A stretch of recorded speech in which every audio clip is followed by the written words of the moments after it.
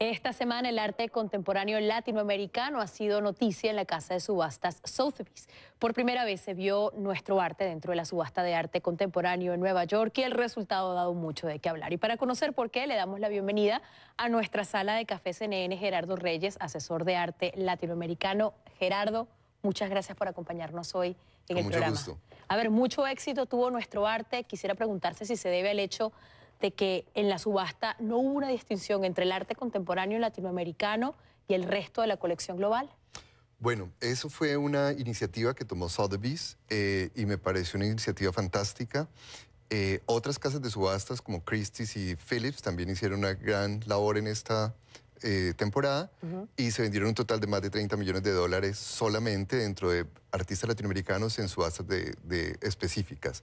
Eh, Sotheby's combinó mucho del arte latinoamericano, no todo, pero una buena parte, digamos, solo de arte latinoamericano vendieron más de 11 millones de dólares, pero dentro del arte contemporáneo eh, tiene, combinaron, digamos, eh, Jesús Soto, Carlos Cruz Díez, se combinaron con artistas como Yoshimoto Nara o como Julie Meretu, eh, que son de orígenes, eh, digamos, asiáticos, africanos. ¿Y a qué se debe la unificación? Eh, ¿Qué fue lo que los motivó? Yo pienso que poco a poco se va borrando ese, ese límite entre arte contemporáneo latinoamericano y arte contemporáneo en general. ¿sí? Eh, pienso que esa es una diferenciación válida, eh, que digamos, es una, perdón, lo contrario, creo que es una diferenciación que va perdiendo validez con la historia. Eh, pienso que dentro del arte costumbrista y el arte eh, anterior que teníamos en Latinoamérica tenía mucho sentido, pero que poco a poco el arte contemporáneo nuestro va en un diálogo intercultural con el arte mundial a una altura mucho más, a un, a un nivel mucho más parejo. ¿Cuál crees que va a ser la trascendencia de esta subasta para el arte latinoamericano o incluso para nuestra región? Bueno, eh, yo pienso que eh, esto hace que compradores de todo el mundo eh, puedan ver a la par que están viendo sus artistas favoritos, puedan ver lo que nosotros, nuestras nuevas cosechas. Entonces, artistas como Oscar Muñoz, eh, que es un artista, digamos, medianamente conocido internacionalmente, pero muy importante para nosotros y para la historia del arte colombiano y del arte latinoamericano, Claro. eh, va a tener una exposición frente a coleccionistas que a su vez están eh, buscando para sus colecciones manifestaciones de, este, de esta índole.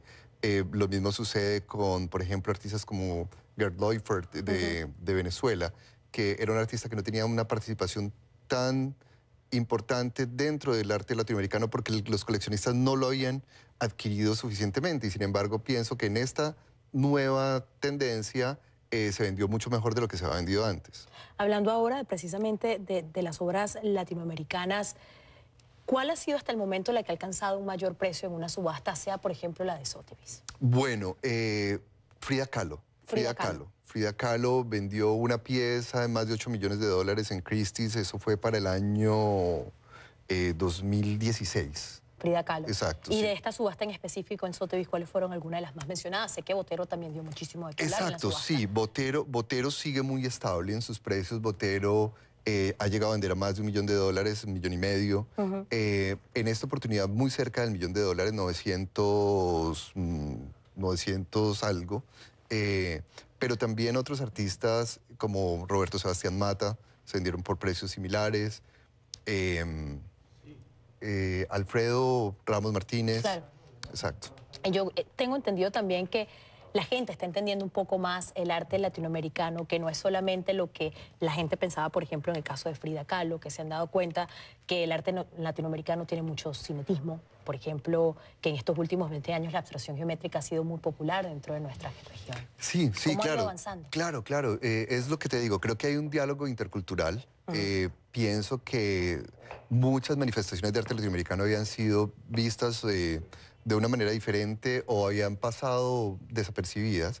Entonces, por ejemplo, el arte geométrico eh, o el arte cinético se había compenetrado con el arte óptico eh, y de repente se diferencian mínimamente, pero Que empiezan eso a... ayuda al mercado global, porque entonces ya no representa una región en sí, sino simplemente un estilo, podríamos decirlo de Se compenetra, manera. exacto, sí, sí, sí. ¿Qué podemos esperar para el futuro del arte latinoamericano? Fuertes promesas para este 2018. Sí, sí, bueno, ahorita viene la feria de Art Basel, que va a ser en Miami Beach eh, eh, a principios de diciembre. supuesto. Eh, Pienso que, pienso que el arte latinoamericano y en especial me gusta mucho, digamos, lo que está sucediendo en Centroamérica. Ok. ¿sí? Creo que vienen promesas interesantes en Centroamérica.